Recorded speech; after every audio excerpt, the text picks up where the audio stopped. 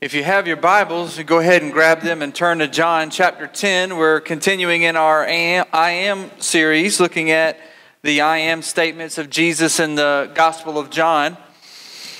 As you're turning over there, I want to make you aware, you may not be aware of this. Uh, this week, we will have some construction start uh, in our restrooms and lounge areas. And so, for the next few Sundays, those areas will be off limits. We are enlarging both uh, bathrooms to be able to accommodate anyone who has a, a handicap or a special need. Uh, and so, it'll you know, be, a, be a process. And we're also installing a ramp off of the front of our church to, to better accommodate. And so, that just takes up some time. And uh, so, we got that going.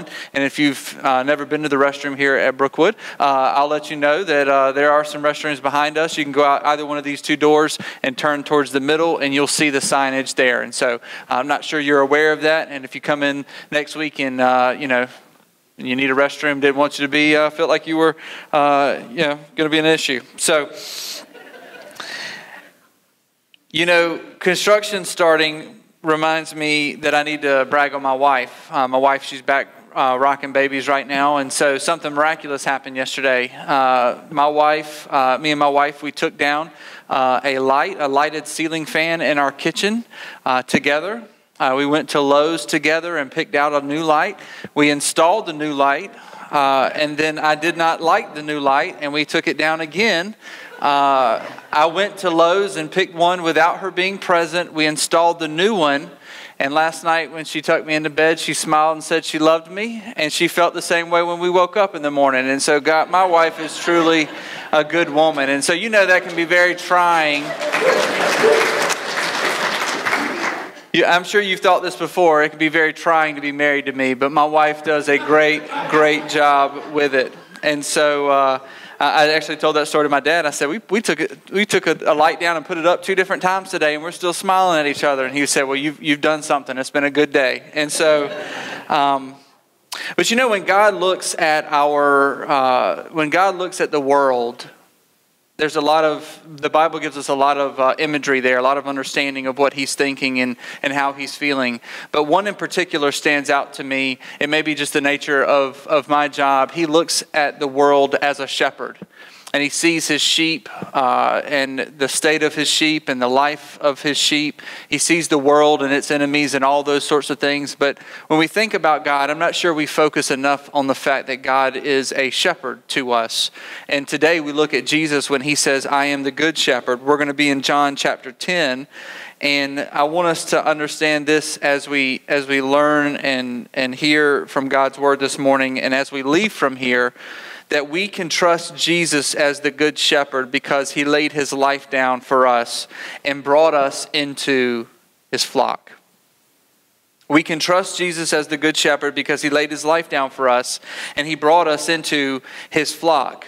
And so, picking up on what we talked about last week, he using the imagery of sheep, uh, and when Jesus presented himself as the door of the sheep, meaning that he was the way in which sheep could legitimately and authentically leave the sheep pen and find good pasture. Uh, it was his example, his way that helps us to understand that. He shifts now in the same conversation, the same sort of statements, to talk about himself as the good shepherd. Of the two I am statements in this passage, today's gets a lot more press because it's a little bit easier to understand, even though we may not have any experience with sheep.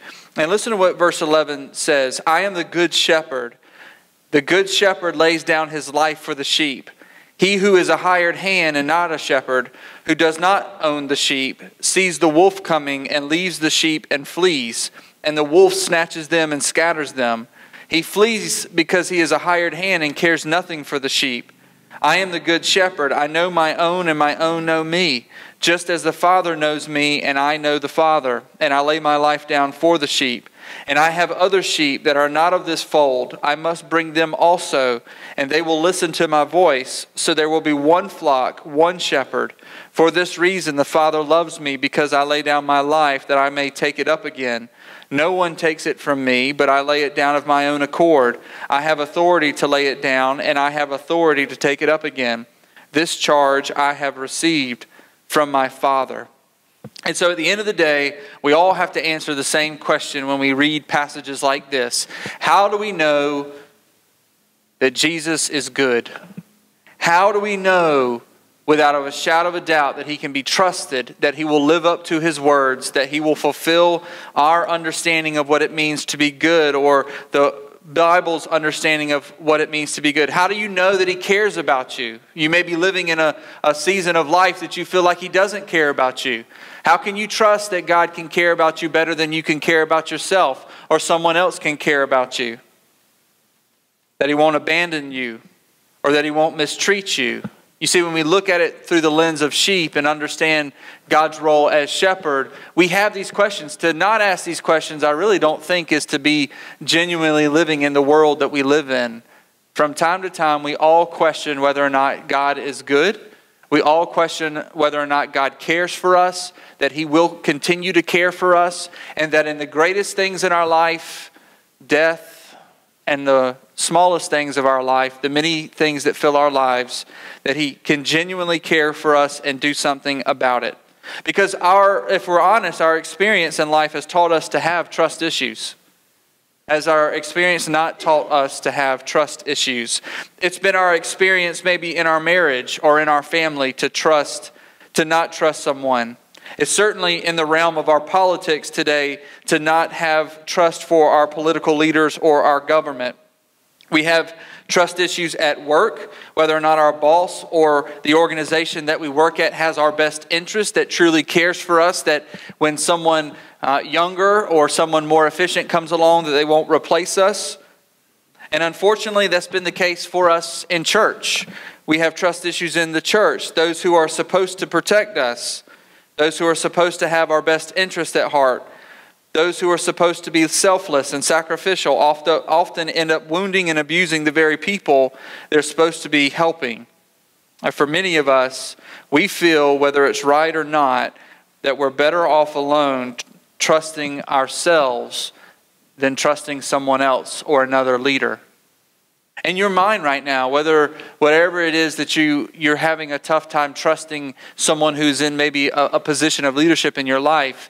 Uh, I know many people who this is not an issue for them at all, and praise Jesus for them, but many others who, if they have one or two more letdowns in the area of leadership in their life, that they're really going to suffer for that maybe for the rest of their life that if they have one more letdown in their life, it could be their marriage, it could be in their family, it could be uh, in a workplace. It certainly feels like politically, if we have one more bad leader come through that lets us down and takes advantage of us uh, and, and all the alike, that we're just done with it. All right, and being done with it uh, might just mean that we no longer vote, we no longer cut on the news, we just hunker down, and we don't care one way or the other because we're tired of putting our energy into it. And yet, is that really the best way to respond? On the other hand, God has always provided shepherds for his people.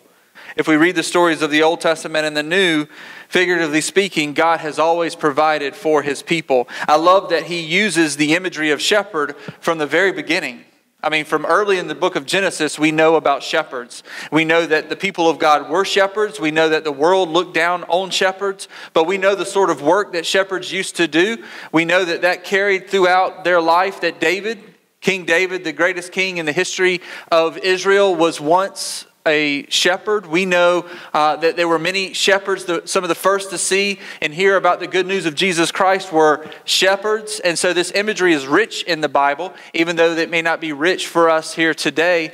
Uh, I remember in seminary, a pastor, famous pastor, probably top two, top three downloaded pastors uh, on iTunes or that, that shows you how long I've been listening to a sermon. So there may be another platform that people download stuff to, but it used to be iTunes. And so uh, he said, I don't like using the shepherd imagery because I don't know what that means. And I'm, I'm in seminary and I'm like, well, well you're, you're, you teach the Bible. Figure out what it means and teach that to your people because whether we like it or not, and I'm talking about leaders in the church, pastors and elders, uh, whether we like it or not, the, the image is a shepherd.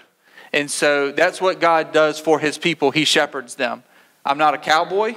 All right, I'm not a boss, I'm not a manager, I'm not any of those other images. At the end of the day, your pastors of your church are shepherds first and foremost. And Peter tells us that they shepherd in a way that they should know that one day they're going to give an account to the one chief shepherd who comes to see how they have treated their flock. And so, shepherding is such a huge image in uh, the Bible, and we should understand that it is one of the primary ways that God desires to relate to us. And so, when Jesus uses the image of good shepherd, there's a lot going on in that phrase.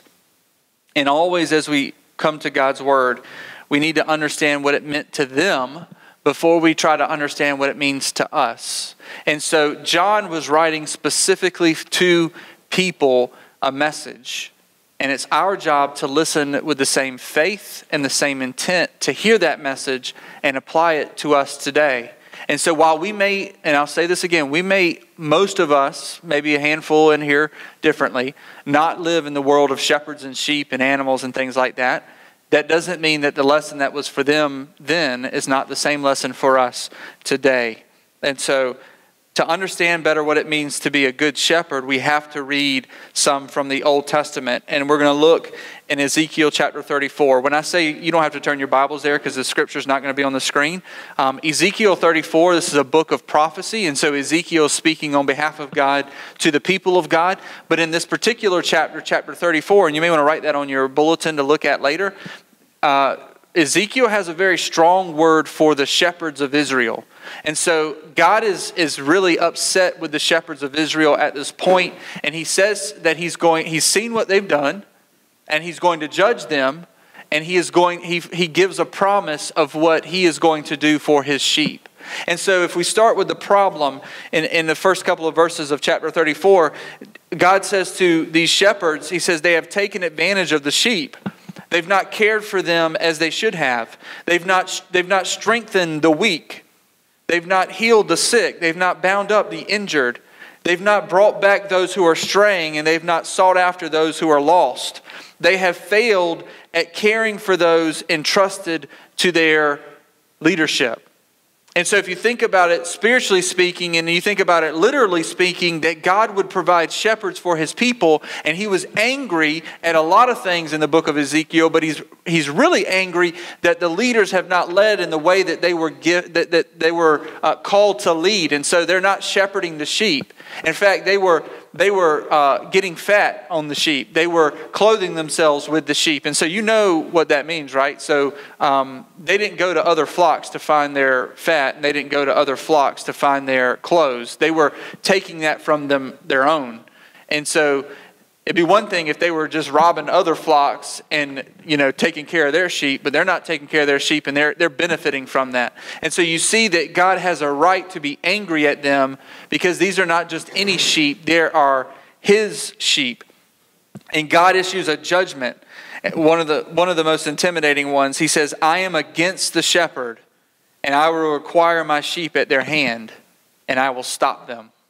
Okay, so so as prophecy goes, um, there are a few things that you don't want to be read your way from God. You don't want God to be against you. You don't want God to uh, stop you. You don't want God to hold you accountable for something that you should have been doing.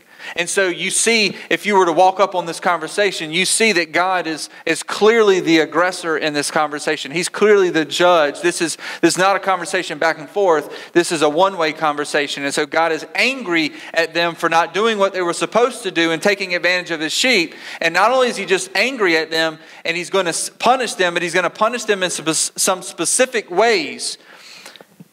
And then God promises, as he does, that not only is there a problem and a judgment, but he adds this promise that he's going to provide a shepherd. But listen to what he says. He says, I will search and seek them out.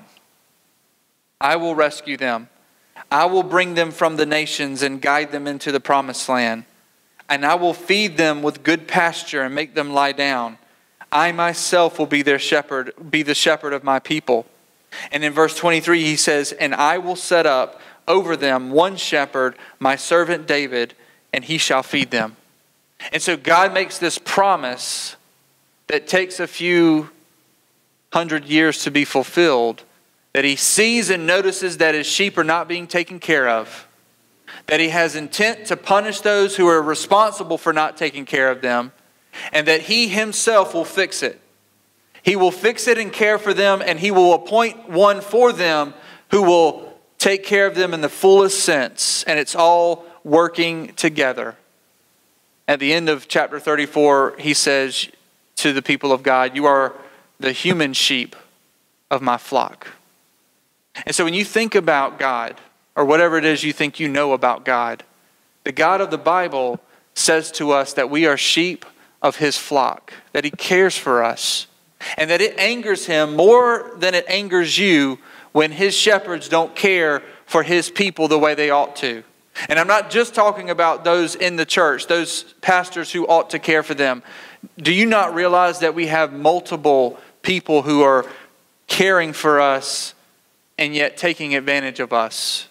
That we have multiple people in our life, whether it's in our families or in our workplaces or in our government, in our neighborhoods, in the church, outside the church, who have a position of authority and leadership in your life that is supposed to be caring for you, but is not.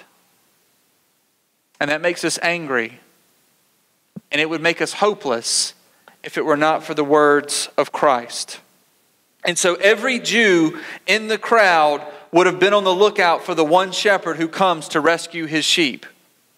Uh, the, even the slack ones, even the slack Israelites in this crowd would know when he said, I am the good shepherd, that he was hearkening back to a prophecy that had yet to be fulfilled. And so when he says, I am the good shepherd, he is the fulfillment of the promises that God made through the prophet of Ezekiel and are now coming to pass. And so it should be no surprise to us that they wanted to kill him because Jesus was saying to them, I am God. I'm the one who's going to care for you. I'm the one who's going to shepherd you. And all of what that word means. It's a stark contrast to the way that Jesus shepherds and that of the hired hand. The hired hand, the sheep aren't his. So when he sees the wolf, he flees, and instead of saving the sheep, he runs. Jesus promises to lay his life down for the sheep. The wolf is the enemy of the sheep. Really, all sheep, but especially Jesus' sheep. And so let me, let me talk about this for a second. Hired hands don't, by definition, have any ownership or relational context to the sheep that they're caring for. Okay? So when it goes starts to go bad, it's just a job. It's just a job. All right, you've probably, if you've worked any time in your life, you have worked with people like this. If you've owned a business or run a company, you know these type of workers. All right, as long as you pay them to do the job, they'll do the job. But if you need them to do anything extra or you need them to take some personal ownership, they're not going to do that because it's just a job. And so that's what Jesus is saying. You have hired hands who care for the sheep, but if trouble happens, they're going to leave. I mean, they're going to they'll probably leave, leave the gate open uh, so that the, the wolf is consumed with the sheep and not consumed with them. I like to watch a lot of movies, and there's that movie 13 Hours in Benghazi. And so there's a moment in that movie in which the aggressors in there, uh, it gets too hot and heavy. And so all the hired protection and security forces lay their guns down and leave. This is what Jesus is describing. They're not going to protect you because they have no reason to protect you. But Jesus is not like that. Jesus is not like that at all. He will lay his life down. And, and, understand, he's not saying he loves you so much and he's so committed to the process that he's going to do whatever it is that you need him to do. And by the way, if it costs him his life, he will not give up on you. We think about heroes in that sense that, that they're going to do the work and if it requires their life, they will do that as well. This is why we love uh, our military. This is why we love our first responders. This is why we have we love the stories of heroes who do what the job is necessary, especially when they have to sacrifice themselves for someone else. That's not the direction that this went. Jesus does handle all the day-to-day operations of your life and my life, but he knows it's going to cost him his life. There is no question of not whether or not Jesus can figure this out and it not cost him his life. He knows it is going to cost him at a basis his life. And he willingly lays down his life. He knows what the wolf is after and he's ready to pay pay for it all. You may think, why does it matter And, and of all the things that Jesus can do for you, and he can do a lot. All right, don't come to Jesus because he can do a lot of things for you, all right? I'm going to give you some pastoral encouragement. You can come to faith this morning and you may lose more money than you had last year. You may lose someone close to you. You may get sick. You may lose your job. There's a lot of trials and tribulations that come after the fact. All right, so don't come to Jesus because he can check all the boxes off. All right, you come to Jesus because he lays his life down for you, which means everything else that happens after that is not that big a deal.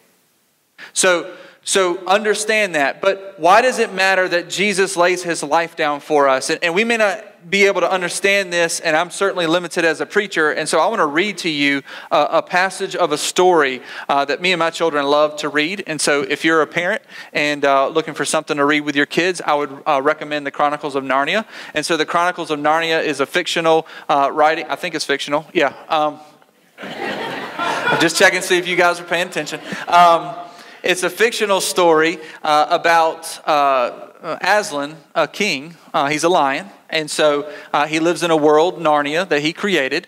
And these children, all throughout these books, go and visit with Aslan. They meet him, they're introduced with him. And so it's different uh, family members, different kids, different children in Narnia. And what they experience in Narnia uh, helps them understand and know who Aslan is so that they get back to the real world. They will know Aslan as a different name. Aslan is Jesus in the story. And so in The Lion, the Witch, and the Wardrobe, which I think is the second book, we have uh, four children Peter, Susan, Edmund, and Lucy. They're brothers and sisters. And so they find an access point to this Narnia through, uh, I think, their uncle's wardrobe. And so they, they get in there and they get in all kinds of mess. But Edmund, on the real side is struggling with his place in his family, and he uh, is always looking to be in charge and have influence. And so when they get over into Narnia, he unfortunately betrays his family, and he tra- he's a traitor to them. And so there's this story about him being pursued uh, by the witch and being pursued by Aslan, and there's this coming battle. And so Aslan and the witch have gotten together so that Edmund does not have to lose his life, and they've made a deal. And so no one knows what the deal is about. If you know the story, you know what it's about. They don't know what the, deal, the terms of the deal are, but we're picking up the story right at the uh, climax of this point of the story. And it says that Lucy and Susan watched as hundreds of monstrous creatures surround Aslan and the stone table. These are horrible creatures from mythology and the darkest realms of the imagination. At the center of these awful creatures is the witch. The witch expects Aslan's arrival, and she tells her servants to tie him up. At first, the servants are hesitant, but when Aslan does not resist, they are thrilled to oblige. The witch's servants humiliate Aslan further by shaving off his mane, muzzling him, kicking him, and jeering at him. Aslan does not protest. The servants finish binding Aslan to the stone table, and the witch approaches him with her stone knife. The witch tells Aslan that he is lost. The witch says she will kill Aslan instead of Edmund, as they agreed. This sacrifice will appease the deep magic. The witch, however, explains that once Aslan is dead, there will be nothing to prevent her from killing Edmund, as well as the other three children. Once Aslan is gone, the witch will be queen of Narnia forever. Lucy and Susan cover their eyes so they do not see the witch murder Aslan. Later in the story, eventually Susan and Lucy return to Aslan's body and they see mice scampering over him. Susan raises a hand to scare them away when Lucy notices that they are actually nibbling at the cords and trying to untie him. The mice leave as dawn arrives, and Susan and Lucy walk around aimlessly as the sky brightens. The girls look at Cair Paravel, Paravel when the first ray of gold breaks over the horizon. At that moment, Lucy and Susan hear a deafening crack. They whirl around to see the stone table has broken in half and Aslan has disappeared.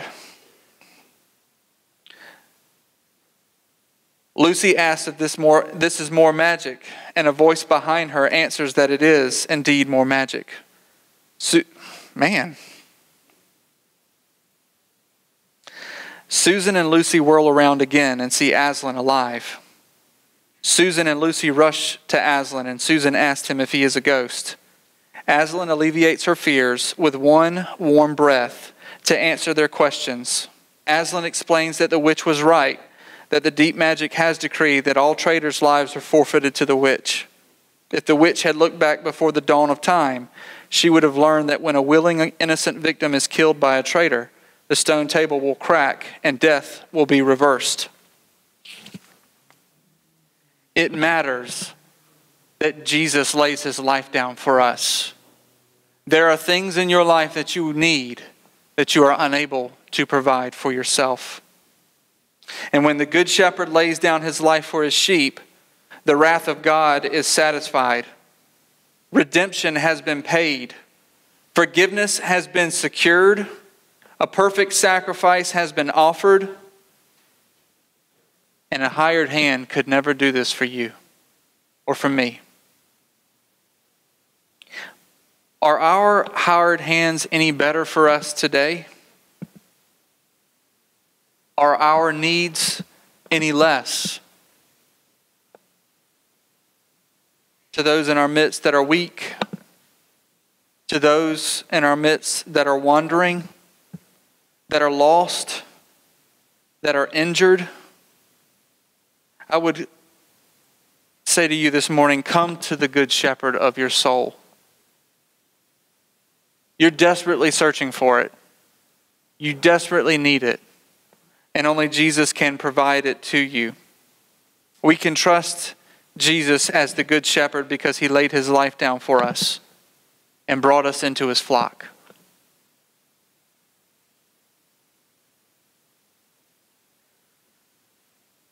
You know, it's the nature of the wolf to scatter the sheep. Disunity among the flock is the byproduct of the wolf, not of Jesus. My very first sermon here as your pastor was about unity. It's a regular prayer request of ours. It's something that we celebrate here. It's something that is important because disunity is the work of the wolf. Unity in the midst of differences is the work of the Spirit of God and of Jesus Christ. And so there are some factors going on in the world right now that seek to destroy us, to cause disunity in the church, to divide us. They're political divisions. There's a misunderstanding in the church and outside of the church right now about a topic called social justice that is neither social nor just. It is Micah 6 8 that tells us what God requires of us to act justly, to love mercy, and to walk humbly with our God. It is God's word that informs us how we ought to treat the least of these in our world. It is not the world's idea, it is not perfecting the idea. And yet we're distracted for a host of reasons about social justice. And so it begins to divide, and churches are divided about how they'll talk about it, how they'll address it, who's saying what, and who's doing what.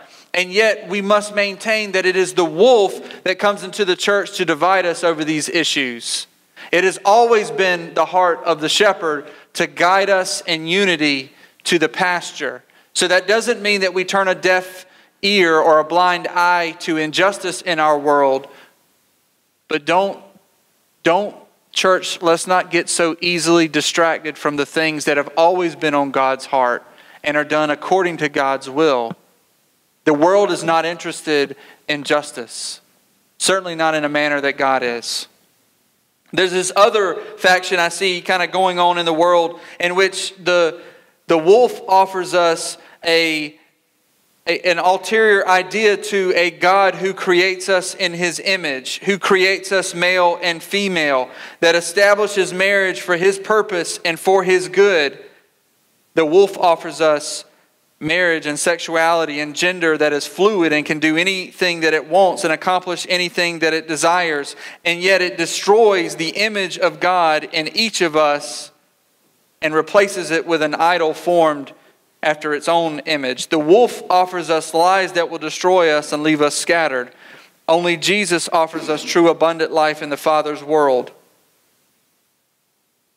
The church today is surrounded by wolves but that's always been the case.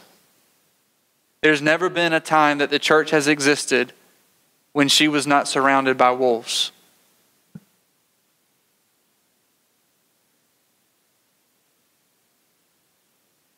Don't, don't fear the wolf. Trust the shepherd. Don't put your gaze on what's going out, on, out, out there or what's going on maybe in our own hearts and the, the things that are creeping in. If, if our eyes and our focus will be on the good shepherd, then we will make it to the good pasture. And, and that's another thing that I'd like to point out. The first one was that the wolf is his, his primary work is to spread disunity in the flock and then destroy us. Secondly, Jesus has sheep that are not of this fold. Do you understand that, that Jesus has sheep that are not of this fold? So when he says that to a group of Jewish people, he's thinking about you included in that. If this good news is only good news to Jews, then there's a lot of people who will be left out. And yet, God has a plan that encompasses all nations and all peoples. I think sometimes in church life we can get a little bit of tunnel vision thinking that the people that we are we like and we're not only do we like them but we are like them that, that this is what it, the kingdom of heaven looks like. And we fail to realize that God has all sorts of people that He wants to save through the good news of Jesus Christ. They're, they're actually sheep of His flock, and they're, they're going to know one day that He is the good shepherd. And I guess what I'm arguing and, and, and pleading with us as a, as a shepherd here is that we always leave the gate open. That we always are leaving this flock to go and spread the good news. And when we find these sheep, that we welcome them into this flock, not to be like us, but be, to be like the shepherd. And so don't get such a small view of God that it limits in who he can reach. There are people all over the world that don't look like you or talk like you or think like you right now, and yet they are sheep of his fold.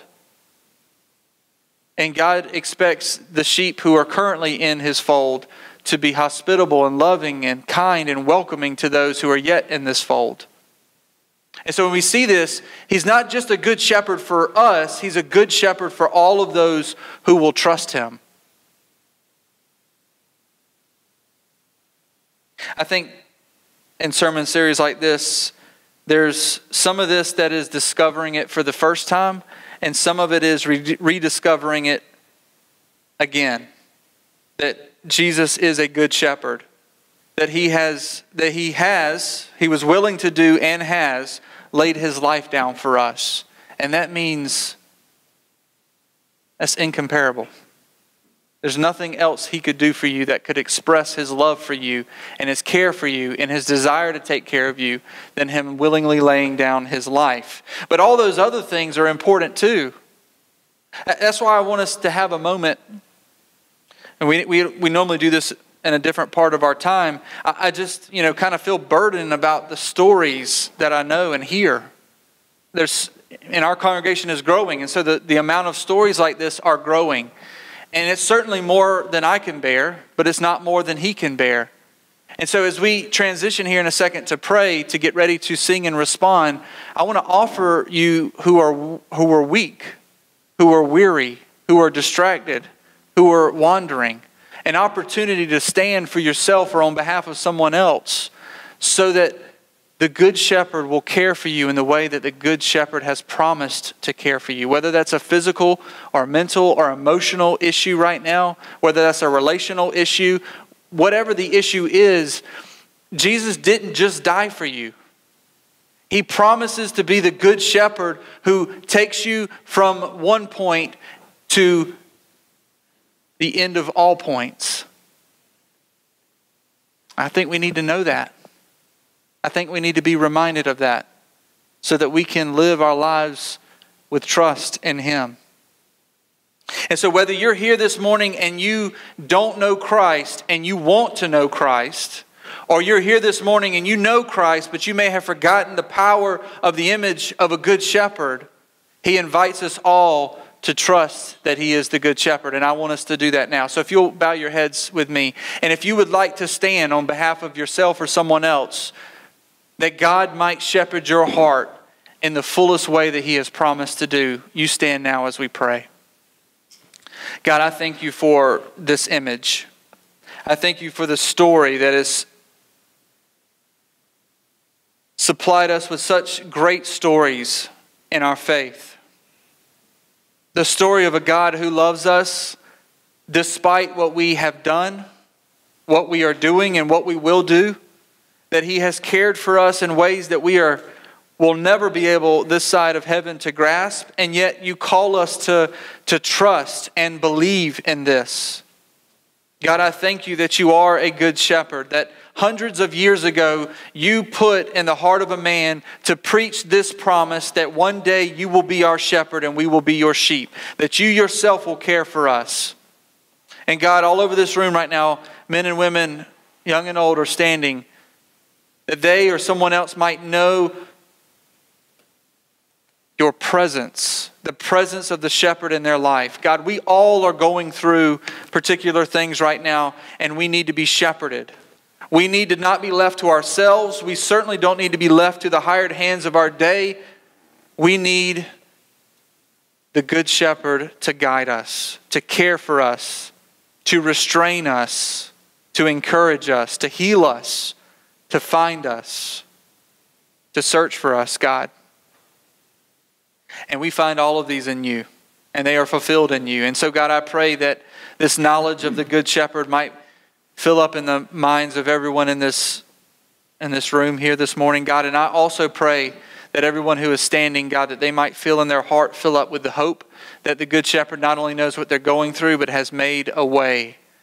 That he will not forsake them and not abandon them, and he will never leave, but he will be with them through it all to the very end. and there will be an end one day for us all when we will pass from this life into the next. And God, I pray that you would shepherd all of our souls in this life and through this life and into the next. and God, I pray for those in this congregation right now who do not know the Good Shepherd, Lord, that whatever reason is preventing them from stepping out and making their faith known and trusting in the Lord. God, I pray that you might remove those obstacles and save them here this morning, God, and lead them to let us know all that you have done in their life. So, God, let us let us trust you because you are good, because you have laid your life down for us, and because you have brought us into your flock. We pray all this in Christ's name. Amen.